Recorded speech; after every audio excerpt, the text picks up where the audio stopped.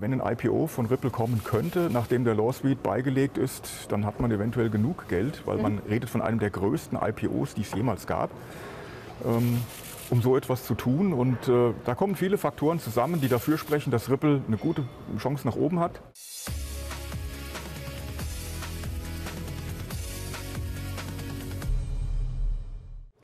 Liebe Zuschauer, ich begrüße Sie ganz herzlich zu einem neuen Interview. Und es ist Montag und an diesem Montag ist es meiner Meinung nach ganz besonders wichtig, sich mal die Kryptomärkte näher anzuschauen, denn gerade in der vergangenen Woche oder Ende der vergangenen Woche hat es beim Bitcoin noch mal ordentlich gerappelt, nicht in negativer Sicht, sondern eher, weil der Bitcoin über die Marke von 31.000 US-Dollar gestiegen ist, damit sogar ein neues Jahreshoch markiert hat und was es damit auf sich hat und was tatsächlich in naher Zukunft vom Kryptomarkt zu erwarten ist, darüber spreche ich auch jetzt wieder mit Oliver Michel von Tokentos. Schön, dass Sie da sind. Hallo.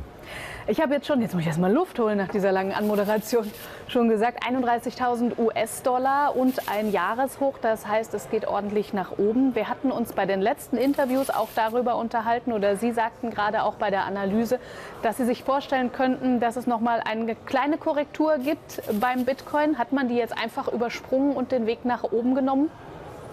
Ja, wir hatten eine tolle Bitcoin-Woche, überhaupt keine Frage. Und äh, der Bitcoin verhält sich eigentlich genauso, wie wir das für ihn geplant haben. Also wie wenn er unsere Interviews äh, nehmen würde. Ähm, man sieht das hier sehr schön am Chart. Hier haben wir die beiden Hochpunkte vom Bitcoin, dann der Weg nach unten, der Tiefpunkt, von dem man ausgehen kann. Und wir beobachten seit geraumer Zeit ja seinen Weg nach oben. Also diesen Weg hier hatten eine Linie für uns ausgemacht, nämlich diese rote Linie hier, die, die sehr wichtig ist. Und mit einem Blick kommt man dann hier rein und sieht, äh, wie er sich verhält. Wir hatten, wir hatten mehrfach gesagt, dass er diese rote Linie um die 25,5 das ein oder andere Mal äh, anteasen wird. Er hat es gemacht einmal, er hat es zweimal gemacht. Und äh, vor zwei Wochen hatten wir gesagt, da waren wir hier. Er wird es auch noch ein drittes Mal machen. Mhm. Das hat er auch tatsächlich gemacht. Und am letzten Montag hatten wir gesagt, das war es dann aber auch. Er wird sie kein weiteres Mal berühren. Mhm. Und daran hat er sich auch gehalten. Und Wie gut, ist dann tatsächlich äh, hier nach oben gegangen. Und äh, da befindet er sich nun. Er hat die 31.000 US-Dollar überschritten, wie Sie das gesagt haben. Er ist natürlich jetzt auch wieder zurückgekommen, ein klein bisschen. Und da stellt sich natürlich die Frage, was macht er jetzt kurzfristig. Mhm. Langfristig wissen wir, haben wir das Retracement 702 im Blick, also bei ungefähr 54.500. Mhm. Da sollte er sich in Wellenbewegungen hinbewegen. Ähm, bis zum Ende des Jahres. Bis Ende Oktober, Anfang November kann er durchaus dort angekommen sein. Frage, was macht er jetzt kurzfristig? Ich sehe da zwei Möglichkeiten. Die eine Möglichkeit ist, er bewegt sich hier oben noch ein bisschen um diese blaue Linie, deswegen habe ich sie hier mal eingezeichnet. Oder er findet nochmal seinen Weg zurück, findet hier einen Boden und geht dann nach oben oder von hier aus nach oben. Das sind die beiden Möglichkeiten. Da muss man jetzt Geduld haben. Ich denke, für einen Anleger, der ein bisschen langfristig denkt, sind diese Bewegungen ähm, jetzt nichts, was, was ihn schocken sollte. Mhm. Äh, man, man darf natürlich auch nicht vergessen, dass die Market Maker ihr Spiel treiben und natürlich versuchen, die, die, Bitcoins aus den zittrigen Händen rauszuschlagen, damit andere, und wir kommen ja noch darauf zu sprechen, sie eventuell zu günstigeren Preisen aufnehmen können. Also Vorsicht vor, vor extremen Bewegungen, äh, das sind meistens manipulierte Bewegungen. Aber das ist das Bild und wir befinden uns auf einem tollen Weg auf dem Weg, den wir eigentlich skizziert haben. Und noch gibt es überhaupt keinen Grund, in irgendeiner Form beunruhigt zu sein. Wir schauen uns neben dem Bitcoin in der Regel auch immer noch eine weitere Kryptowährung an, Ripple oder besser gesagt XRP. Und da haben Sie uns natürlich auch noch eine Grafik oder besser gesagt zwei Charts mitgebracht. Wie verhält es sich denn hier? Beim Ripple tut sich eigentlich gar nichts außer dass okay. die Spannung von Tag zu Tag wächst. Ja, wir haben beim Ripple unseren Abwärtskanal, den, den wir hier mhm. äh, schon skizziert haben. Aus diesem Abwärtskanal ist er, wie man hier sieht, noch nicht ausgebrochen. Also er befindet sich nach wie vor drin, sortiert sich aber um diesen Bereich, den wir hier wieder rechts haben. Und äh, das Unspannende an der ganzen Geschichte ist, er hat halt eine Range. Die Range ist die rote Linie, die Range ist die blaue Linie und, und zwischen dieser Range bewegt er sich. Wir wissen, Er sollte unter diese rote nicht gehen. Das wäre unschön. Vielleicht kommt er dann auf die schwarze. Ähm, aber von da sollte er auf jeden Fall wieder abprallen. Und wir wissen, wenn er die blaue überschreitet, dann ist the sky the limit, wie man so schön sagt. Dann geht es nach oben. Aber noch bewegt er sich. Er versucht hier ein paar Mal schon ähm, in dieser Range sich zu bewegen und er befindet sich in der Range genau in der Mitte. Und deswegen sagte ich, es gibt nichts Unspannenderes als als eine Aktiencoin, die sich mitten in der Range bewegt, dann weiß man nicht, geht man rein, geht man raus, was macht man. Aber es steht ja jetzt auch was an, was die Entscheidung oder eine Entscheidung steht an, die tatsächlich für deutlich mehr Bewegung sorgen ja. könnte. Also das gibt es aber immer noch nicht. Wir haben ja gesagt, Donnerstag, Freitag sollte man beobachten. Hier ja. sieht man diesen Spike am letzten Donnerstag. Wahrscheinlich hat der eine oder andere das Ding wieder nach oben ziehen wollen. Da muss man jetzt einfach ruhig bleiben und abwarten. Die Judge Torres mhm. wird ihren Job machen und äh, da muss man warten. Und aber man sieht schon hier, es wird immer enger und irgendwann gehe ich davon aus, dass es nach oben geht mit einer größeren Wahrscheinlichkeit, also nicht 100 Prozent, aber mit einer größeren Wahrscheinlichkeit, als dass es nach unten geht. Zu Ripple ist noch zu sagen, da kam am Wochenende ein, ein Wahnsinnsgerücht auf. Das möchte ich ganz kurz noch mal anteasen.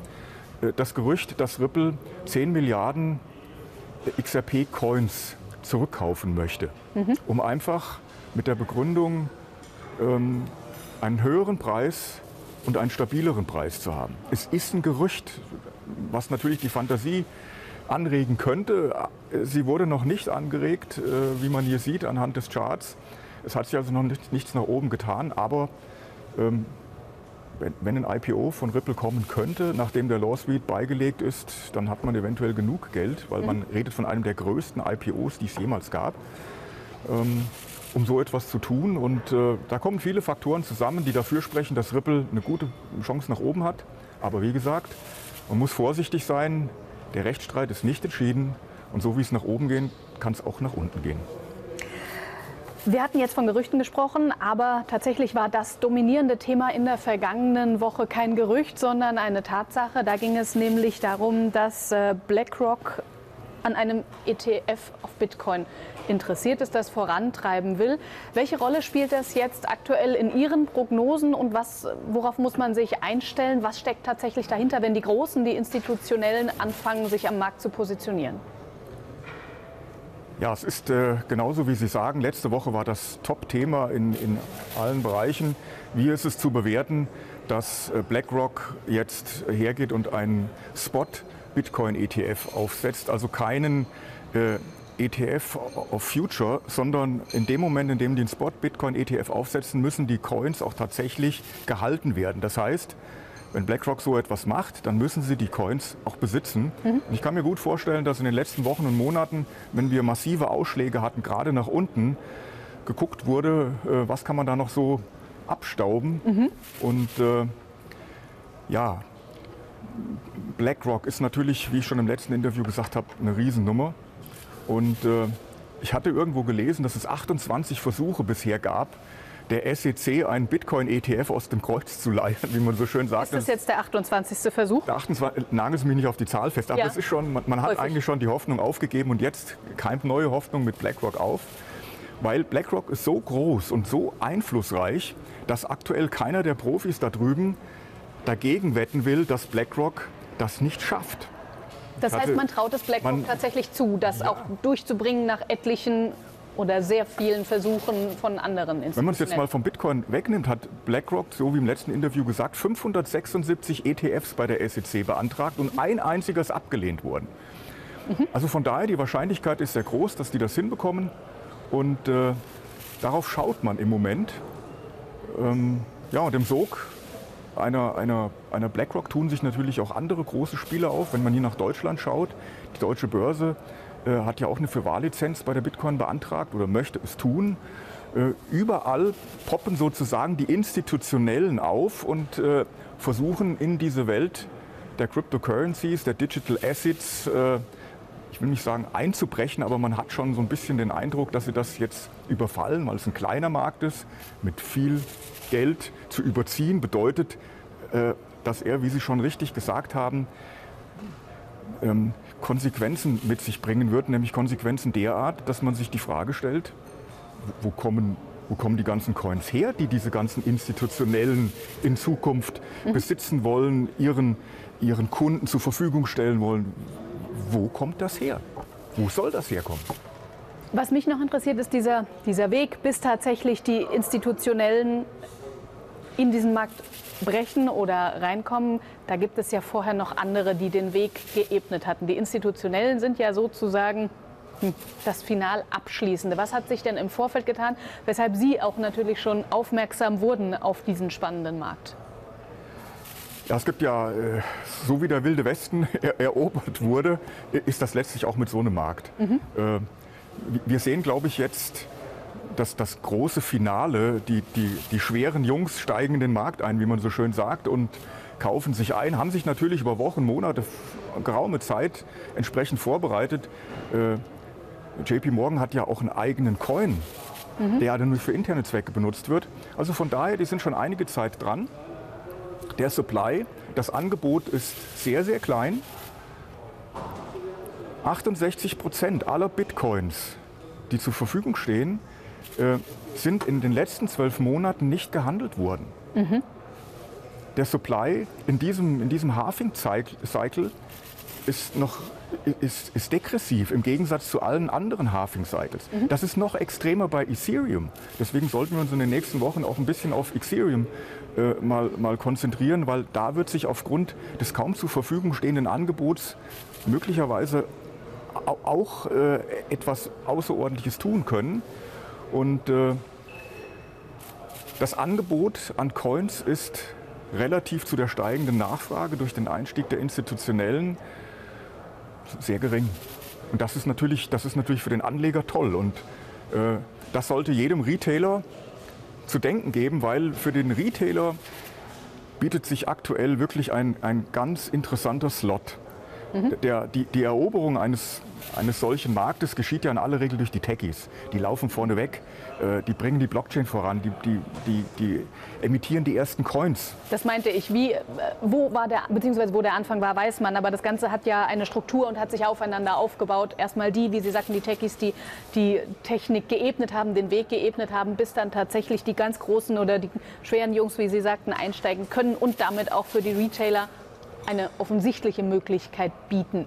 Aber die Frage ist ja auch ähm, diese Offensichtlichkeit und der wilde Westen, wie Sie es immer so schön betiteln, birgt ja auch Risiken. Das heißt, alles, was speziell stark nach oben gehen kann, kann das auch in die umgedrehte Richtung. Wie, Richtung. Wie sind denn die Risiken zu bewerten? Ja, die, die erste Gruppe, die einsteigt, die ist sich natürlich der Risiken voll bewusst. Mhm. Die, die weiß, ich, ich gehe all in, ich, ich, äh, ich, ich lebe und sterbe mit, mit dieser Blockchain- und Kryptoentwicklung. Das macht denen aber nichts aus, weil die noch genug äh, berufliche Zeit haben, um mögliche Fehlschläge in den Griff zu bekommen. Mhm. Die, die zweite Gruppe, das ist die Gruppe, mit der wir bei der Tokentus angefangen haben, Kapital zu akquirieren. Die, die sind schon ein bisschen, äh, die, die, die, die, schätzen das Risiko schon eher ein. Das sind die High Net Worth Individuals, also die vermögenden Privatpersonen meistens Manager, die in ihren Unternehmen gesehen haben, hoppla, da tut sich was in Sachen Blockchain, da tut sich was in Sachen Krypto, die auch genug Spekulations, ich sage also nicht bewusst Investitions, sondern Spekulationskapital haben, um zu sagen, ich fange da mal an.